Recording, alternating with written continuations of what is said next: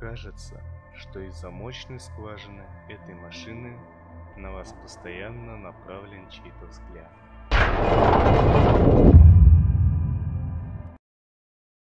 I am a lock. Приветствую всех, вы на канале Айварук. Это рубрика «Руководство по аномалиям». И сегодня у нас аномалия класса HE Schadenfreude. Начнем с информации об аномалии. Вот история аномалии. Если хотите, можете ее прочитать.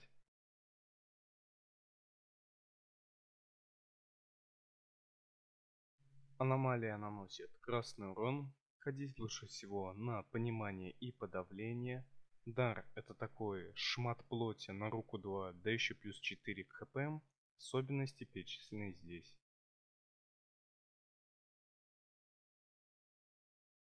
Главная особенность аномалии заключается в том, что если во время работы с аномалией вести на ней наблюдение, то каждые 5 секунд уровень счетчика клепота будет падать. Шанс успешной работы также снизится до самого минимума. Когда уровень счетчика клепота упадет до нуля, аномалия сбежит. Для того, чтобы избежать этого, с аномалией надо работать таким образом – После выбора работы вам не надо смотреть в точку комплекса, где она находится. В режиме паузы смотреть можно сколько угодно. Если перемещая камеру аномалия окажется в зоне видимости, то все плохие эффекты снова активируются.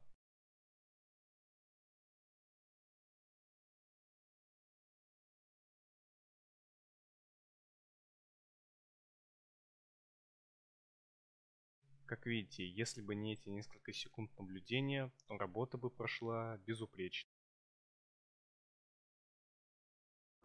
При побеге аномалия будет шляться повсюду и убивать всех подряд.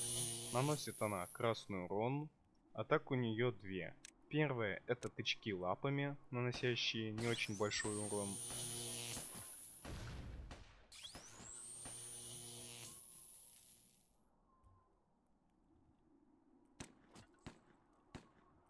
а вторая это АОЕ атака пилами, наносящая где-то 30 ударов по 2-3 урона.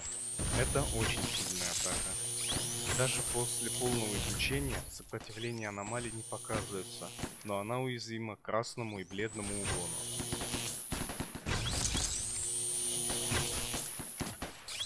Во время атаки пилами аномалия стоит неподвижно, так что можно в принципе увести сотрудника от этой атаки.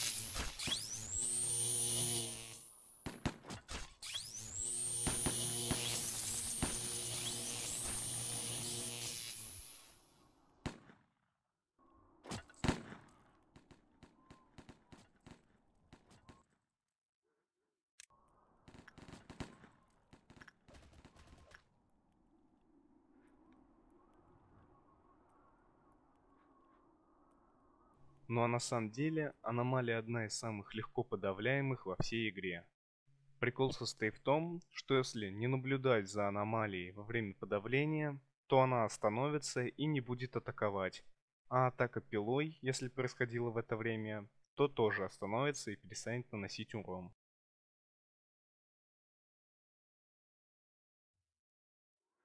Правда, все сопротивления аномалии в этом случае увеличатся в два раза.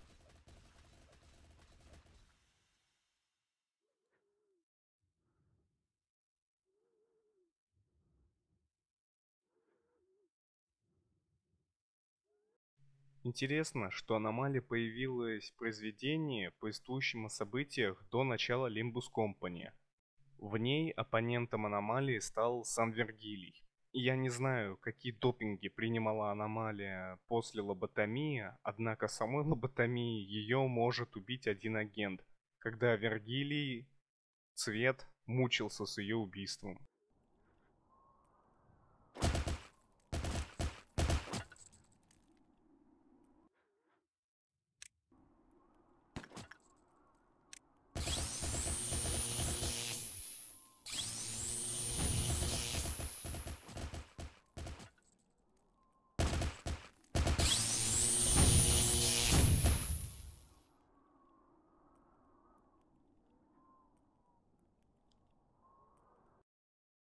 Вот так выглядит сотрудник в полном сете аномалии. Оружие требует мудрость и выдержку второго уровня. У брони есть особенность. Во время наблюдения за сотрудником, носящим эту броню, ее сопротивление, а также скорость атаки увеличится на 10.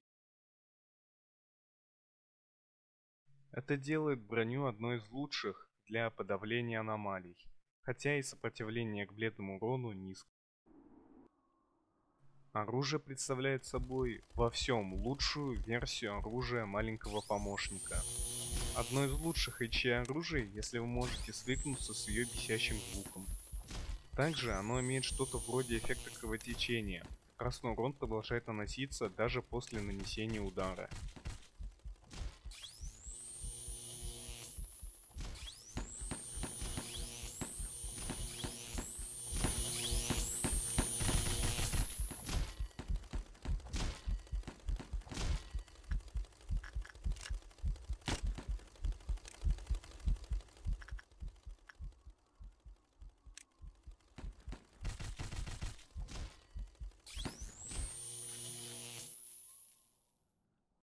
Броня тоже хорошая, но как ни странно, ее наивысшее сопротивление к белому, а не красному урону.